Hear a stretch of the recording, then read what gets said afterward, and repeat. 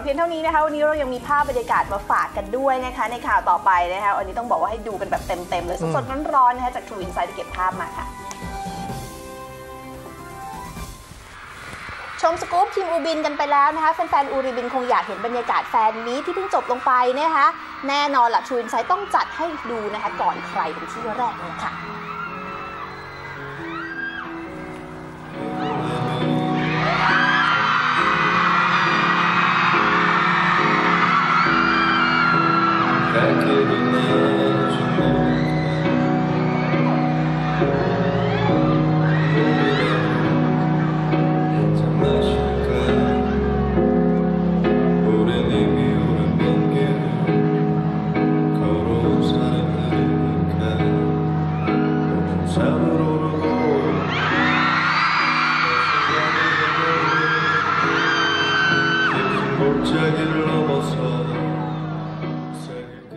นี่เป็นน้ำจิ้มก่อนละกันนะคะ ยังไม่หมดเพียงเท่านี้ค่ะ ภาพความประทับใจยังมีอีกเยอะค่ะ ติดตามได้ในรายการรูป Service News ในช่วง4ทุ่มครึ่งคืนนี้นะคะ